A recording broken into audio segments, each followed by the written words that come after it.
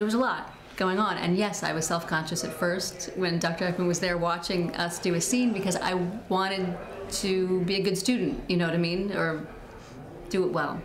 Dr. Ekman, is she telling the truth? She is, absolutely. I am